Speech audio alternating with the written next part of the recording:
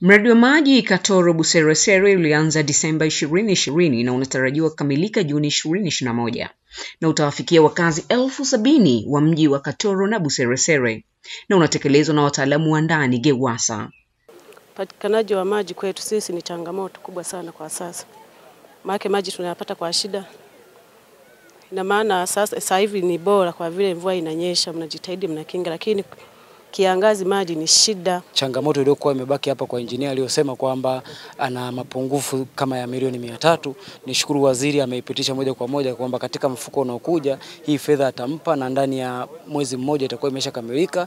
Kwa hiyo sisi ni waambie wananchi wa kwamba tujiandae kwa ajili ya matumizi bora ya maji ambayo tunategemea kuyapata.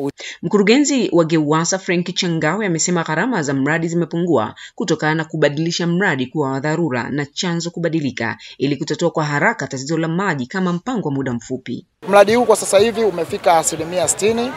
E, maji yatatoka eneo la Chankorongo kama chanzo cha maji ya ziwa Victoria.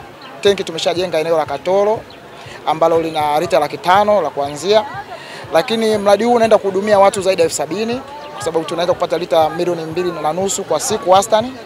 Waziri Aweso pia amefanya ziara wilayani Mbogwe ambapo mwenyekiti wa baraza la madiwani wa halmashauri ya Mbogwe Vincent Benedicto amesema anashangazwa na wilaya hiyo kuonyesha asilimia ya maji 54 wakati Mbogwe ina miradi minne tu ya maji na wilaya ina vijiji 84.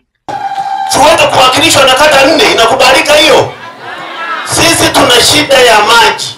Kwa mfano, kata ya Ng'omora tuna mradi mmoja wa maji, lakini leo kuna miaka miwili haujakamilika. Tulikuwa na mradi Rugunga mpaka leo sidhani hata mkandarasi kama yuko site. Akizungumza wilayani Mbogwe, waziri wa maji Jumaa Aweso amemtaka mhandisi wa maji wa Ruwansa kuhakikisha anapeleka maji kwenye kitongoji cha Nyakafuru alicholalamikiwa kukosa maji licha ya kuwa na chanzo cha maji kinachopeleka maji kwenye vitongoji vya Shinyanga A na B. Kwenye akaunti yako na kiasi gani? Kwa sasa hivi kwenye akaunti ipo na milioni mia mbili.